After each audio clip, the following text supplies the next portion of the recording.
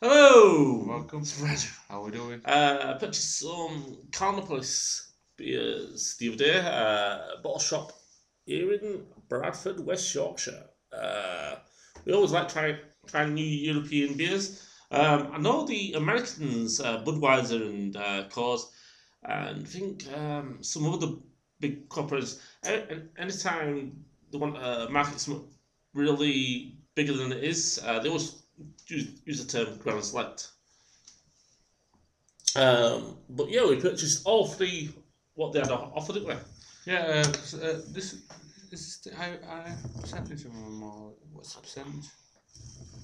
So I think one one of them was five, one of them was seven. Five point three. Uh, so it's a little bit higher. I mean, uh, the Pilsner was about four point six, and I think the original was five. Mm. Uh, normally, when it's, it's kind of like they use a little bit more uh, technique when they use brew the beer. That's the thing though. It's they've got the, that's the special thing on it. On all Yeah, which is which is the logo for the Kalnapilis. Hmm. Um, they distribute, I think, uh, through Royal Unibrew, which uh, I think is in the UK. I'm not sure. I know they have. I think they brew links and We'll just um, try and look, it's uh, called Super. To a robust, long-lasting form, subtle hop aroma gives a noble, select brewer's gold combination. He mixed it in just a beer to finish cooking, so all the best. Oh yeah. Uh, basically, um, I managed to find some information, but it was all in Lithuanian. Uh, we just used Google uh, Translate just now. uh, there was a website, uh, but the, the, for some reason it won't translate. It, in Google uh, Chrome they- has an option where you can translate it from different languages to a, your your native language. Well, But I, as well, Grand Select selections from every major corporation, well made label.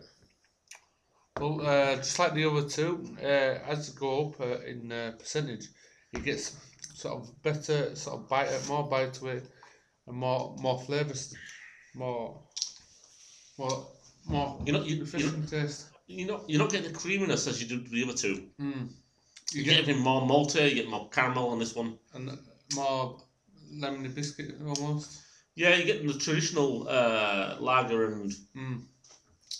Uh, whereas the other two was pale lagers, this is a premium lager, Yeah. which is another premium is another selling term that they use. Uh, some companies use. As with uh, craft brewers, craft beer is basically a selling term. Mm.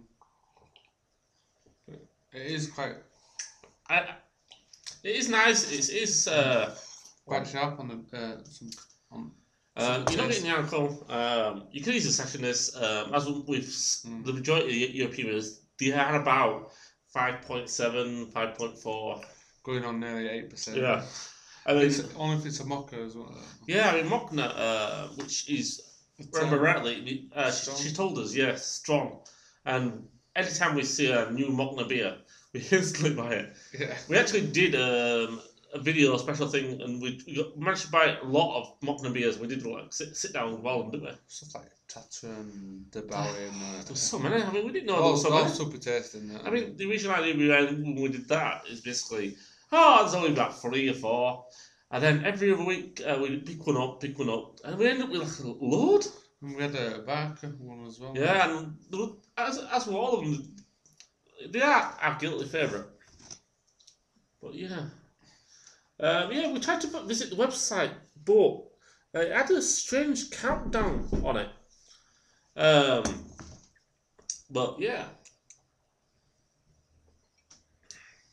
Um, I w- I'd have to say the other two were a lot better. Um, which we, I mean, it's, it's, I'd start it again.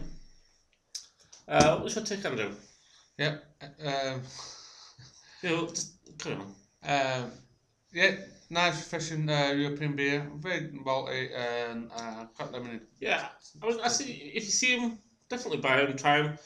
As with other uh, European beers, try as many as you can. Just uh, vary your palate. Go on to the door now. You take care. Bye. Bye.